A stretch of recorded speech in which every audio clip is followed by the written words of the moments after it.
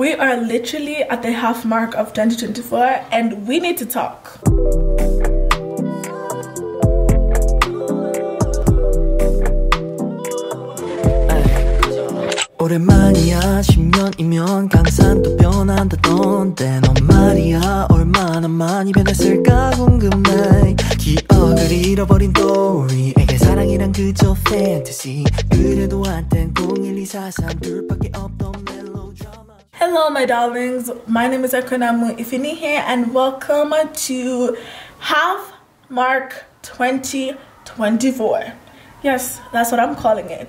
Because in this video, we we have to talk. Okay? We have to review the first half of 2024 because yeah. You know, here's the tea, okay? Disclaimer before we even like get one with the video. I am going to try to be as organized as possible because y'all know I just picked up the camera and sat down and started talking. I haven't planned any of it. Like, let me tell you, when I was starting this video, when I was picking up the camera, I was supposed to do a June reset. And then I had already started filming for like four minutes, and I realized we're at half mark. We're literally at the half mark of 2024. So let's talk about that, you know? Because I've always been told by my mom that one year can make a big difference. Like how a year starts is not how a year ends. And I can attest to that as of right now because February me, February March me, and June May me, whoo, child, two mega different people. Okay, we're gonna review the first half of 2024 because it was a shit show. I, I like, okay, I pride myself as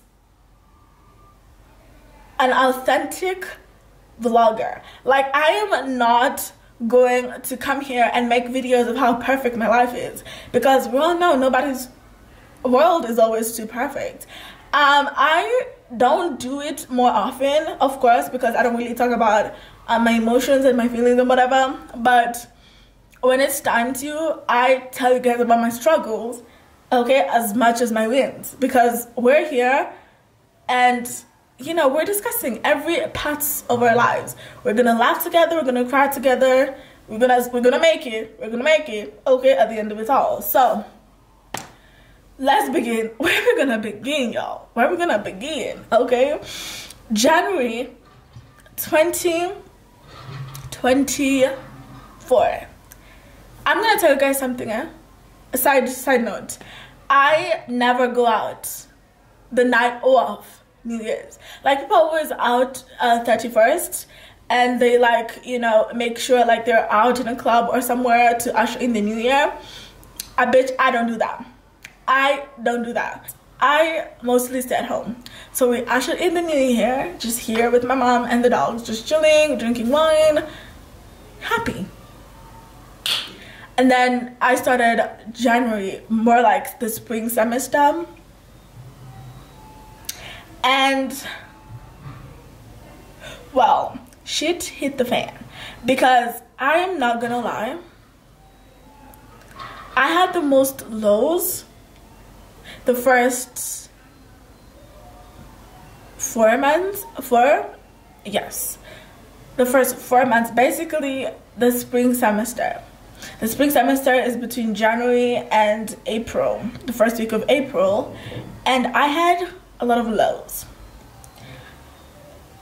I made so many mistakes that I regret. I did some shit that I regret. But, but, in the same breath, I am glad they happened. And that will sound very like it will sound very contradicting but i did some shit that i'm not proud of. Um, there was a lot of late nights a lot of drinking a lot of drunk driving which is first of all fatal.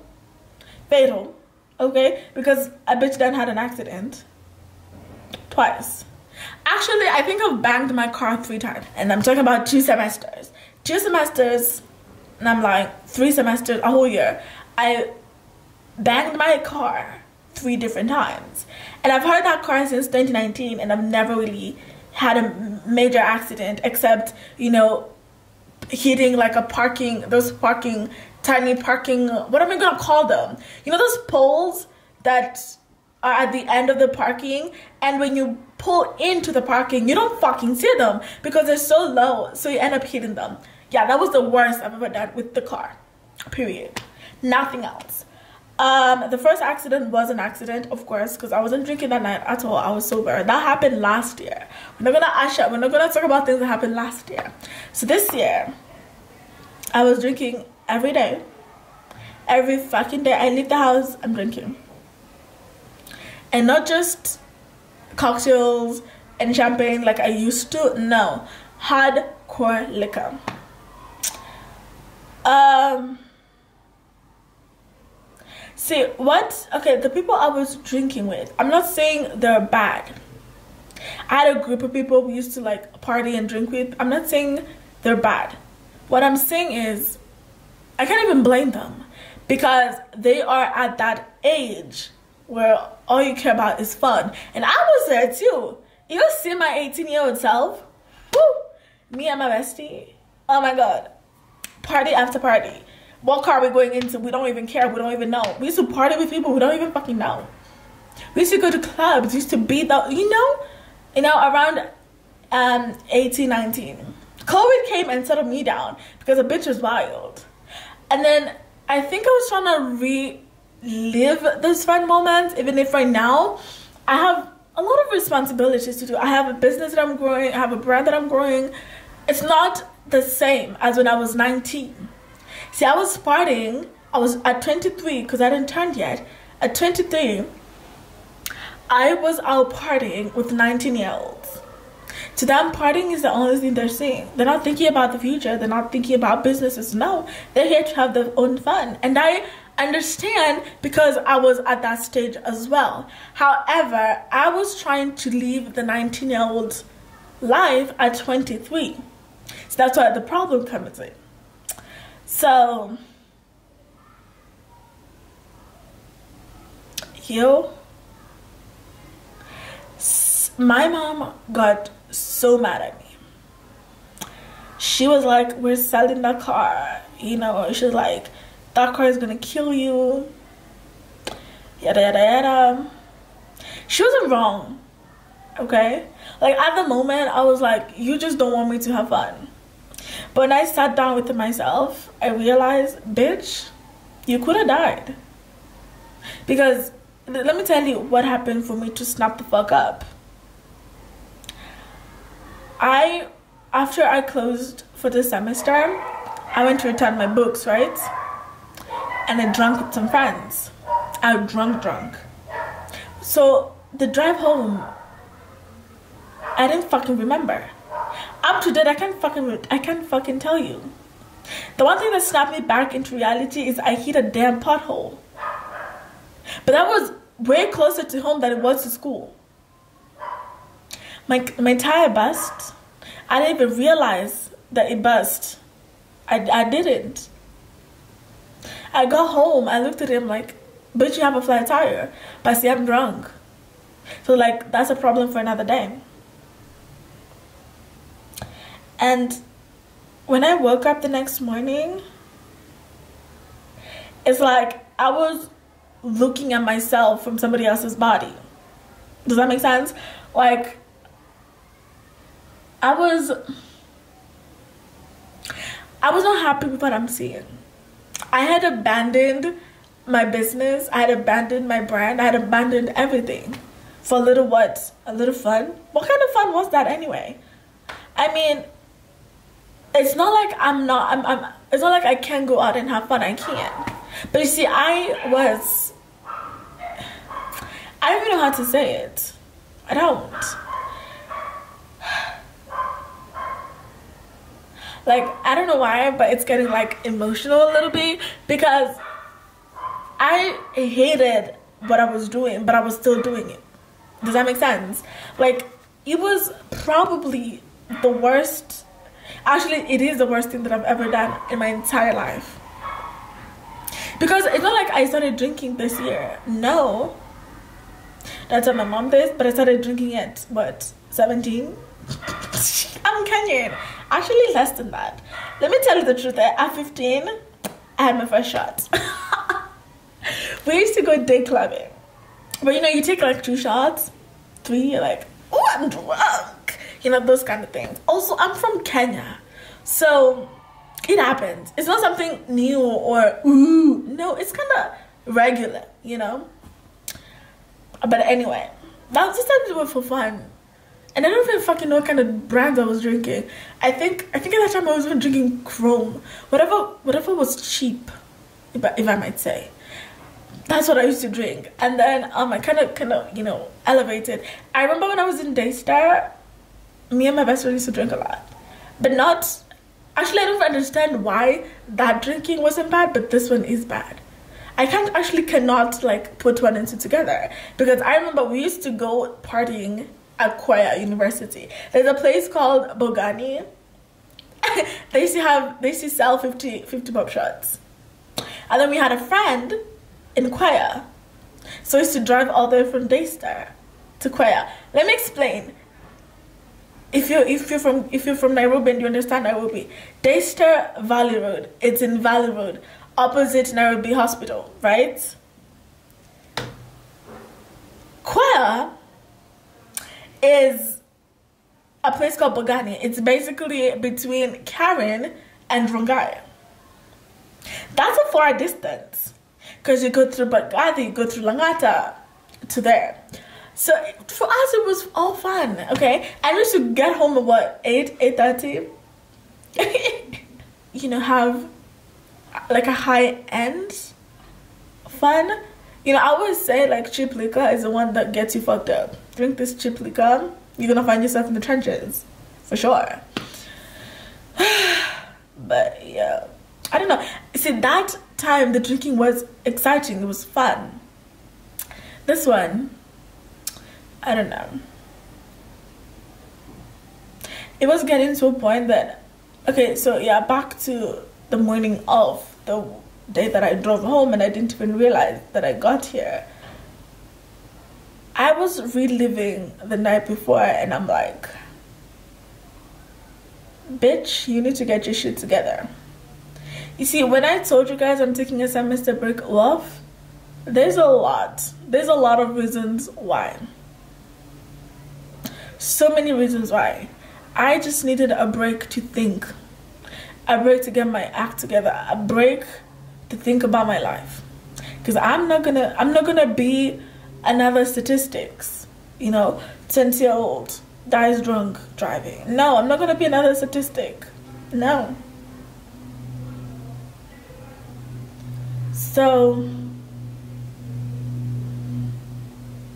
yeah.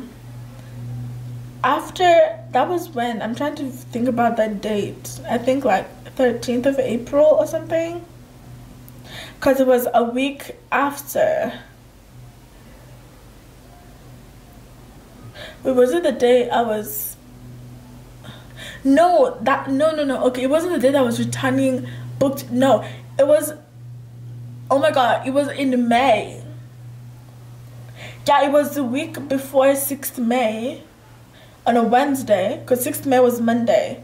So the week before on Wednesday, I had gone to school to figure out my situation.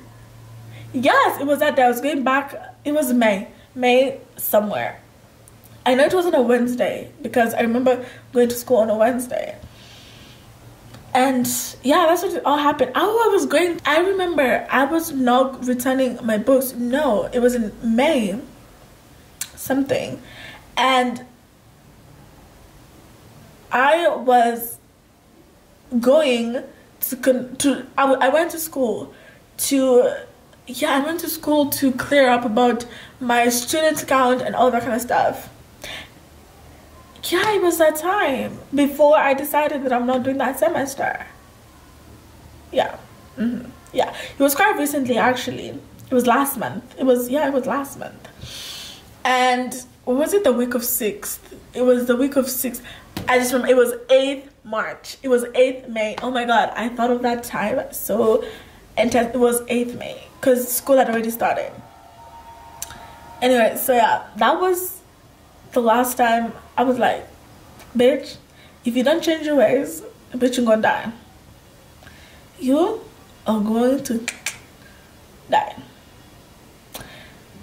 Ah, I'm good now, actually.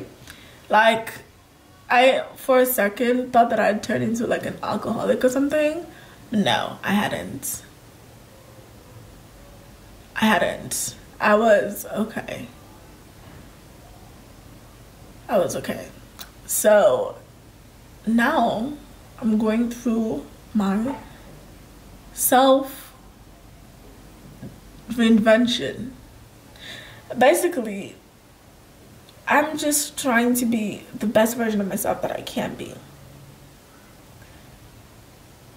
And that means that I am going to lose. It's not even I'm going to, I have to. It's like a must. I have to lose a lot of what I had found security and comfort in because it's not working. And when something is not working for you, you change it. And that's that's what I'm doing right now. I've just been at home chilling. The last time I went out was my birthday. We had a couple of cocktails, a couple of shots, good ones. We came home. We, good. and it was fun for me. It was not even a club. It was more of a restaurant that had cocktail hour, happy hour from like what I think 5 to 10 p.m. They had board games, card games. It was fun. You guys are gonna see that video. I'm gonna release that um, vlog the end of this week. But it was exciting. It was fun for me, you know. Anyway, I'm just getting into my into my like I was I zoned out for a little bit. Because just thinking like I have made major changes in in under a month. I am just trying to have a better second half of this year. Because you're allowed to make mistakes in life. Because like i said in the beginning of the video i am glad that it happened. Because now i can learn from it and move forward, you know, be better. And the goal for me in life is always being better than I was. I'm in competition with myself, not anybody else. I always have to be better than I was last year, last month, last week. Period. Okay? Period. So, yeah. I thought I'm gonna like do the plans for the other half of this year in this video. Clearly I cannot because the review of the last half was intense. So I'm gonna keep it in one video. Let that sink in. If you're going through the same situation, it's okay. Give yourself a break and it's gonna be easier for you to get yourself out of that situation after you give yourself a break. You need the break. If you do it without the break, you're not going to be able to. Finding yourself needs you to be by yourself, basically. I think that's what I'm gonna, that's the best way to describe it. Finding yourself, the best way to do it is by being by yourself. You know, have this moment where you keep your phone away. It's just you, yourself, and you. That's what I've been doing. That's what I am doing. Right now, I'm just focusing on anything that gives me peace, money, and comfort. I don't want anyone disturbing my peace. You disturb my peace, you go away. I do not care who you are. Anyway, guys, so I have poured out what has been happening to me and what I've been doing. And I'm gonna end the video right there. If I keep on thinking about it, I'm just gonna start crying. And I made it, I made a vow to myself when I started doing content creation. I will never cry on camera. When I see people doing it, I feel like it's tacky, so I'll never. I got a little emotional. I didn't, you didn't see a tear, but they were coming. they were on the way. They were like this. We, we, we didn't see them, but they were coming. We're gonna keep them in because we're not in that moment anymore. We're past it. We're moving forward. So, guys, that is all I had for today. Thank you so much for listening. I hope you followed through. This is a more vulnerable video that I've ever done before. Ever. Like, I've never really done such a video before talking about the worst part of my life. And yeah subscribe to my channel. we have fun here. It's just that today, what I said had to be said.